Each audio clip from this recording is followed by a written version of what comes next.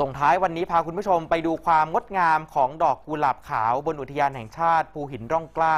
อำเภอนครไทยที่จังหวัดพิษณุโลกนะครับ ซึ่งแม้ว่าตอนนี้จะเริ่มบานเพียงบางส่วน แต่ก็สร้างความงดงามแล้วก็ประทับใจให้กับผู้มาเยือนไม่น้อยครับ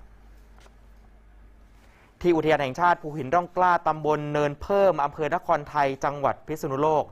บรรยากาศดีมากนะครับ ช่วงนี้มีสายหมอกจากไอฝนด้วย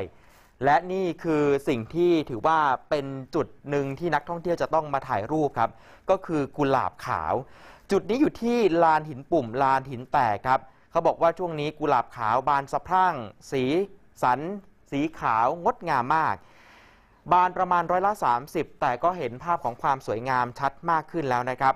ดยปกติดอกกุหลาบขาวนั้นจะบานในช่วงเดือนเมษายนจนถึงปลายเดือนพฤษภาคมของทุกปี สร้างความประทับใจแก่นักท่องเที่ยวที่มาเที่ยวชมธรรมชาติที่ลานหินปุ่มลานหินแตก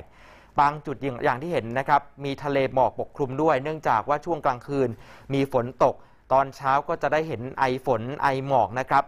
สำหรับดอกกุหลาบขาวบนอุทยานแห่งชาติภูหินร่องกล้า มีชื่อเรียกตามภาษาท้องถิ่นว่าดอกสามี เป็นไม้พุ่มไม่ผัดใบ ความสูงอยู่ที่ประมาณ 1-3 เมตร กิ่งก้านจะแตกช่อเป็นพุ่มขนาดใหญ่ ออกดอกเป็นช่อตามปลายกิ่ง ช่อละ 3-5 ดอก ตัวดอกเนี่ยจะมีสีขาวล้วนนะครับ แต่จะมีขาวอมชมพู มีสีเหลืองแต้มอยู่ตรงโคนดอก กลีบดอกเชื่อมติดกันเป็นรูปกลวยหรือว่าระฆัง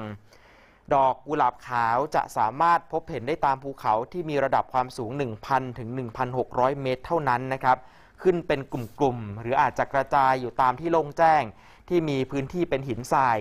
ในประเทศไทยพบอยู่ไม่กี่ที่ครับ ที่อุทยานแห่งชาติภูกระดึง เขตรักษาพันธุ์สัตว์ป่าภูหลวง และมากที่สุดที่นี่แหละครับ อุทยานแห่งชาติ ภูหินร่องกล้านะครับ วันนี้ให้คุณผู้ชมได้เห็นภาพความงดงาม พอเป็นน้ำจิ้มนะครับบาน